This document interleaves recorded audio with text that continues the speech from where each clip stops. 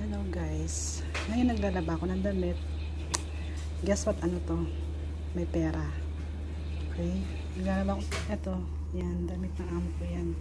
May pera siya. So hindi ko lang kung magkano. Tignan natin. Buksan ko ah.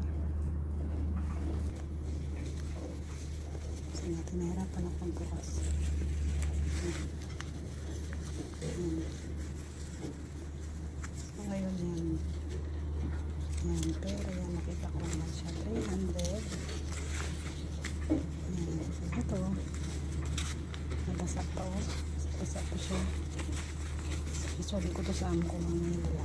Ngayon, isasoli ko to sa amo ko lalaki. Yan siya. Ito talagang amo ko. Hindi ko maintindihan. Pera na naman to. Pera na naman to. Hindi ko lang kung magkano to. Titignan ko muna.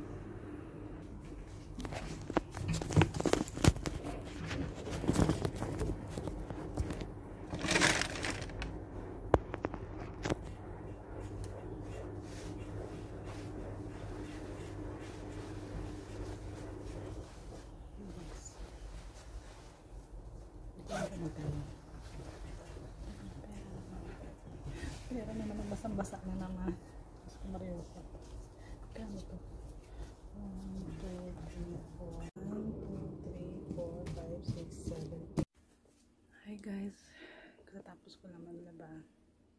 Alam niyo ba, habang naglalaba ako, sa dami ko nilabahan. Kasi kagagara niya ng boss ko sa overseas nakakita ko ng $800. Okay, ang $800 mahalaga na sa atin to. Pero, wag niyong kukunin pag nakakita kayo ng pera, okay? Sa uli niyo. Wag niyong ipagpalit ang trabaho niyo sa maliit na halaga ng pera. Sa uli niyo. Kahit magkano lang siya. $5, $2, isuli niyo rin siya. Ako ganyan ginagawa ko. Susuli ko to. So, sinusuli ko yung mga parents, mga pera na yan. Huwag niyo ipagpapalit ang konting halaga sa magandang trabaho. Para at least meron tayong habang buhay na trabaho, malinis ang konsensya natin at ang tiwala nila sa atin eh hindi mawawala.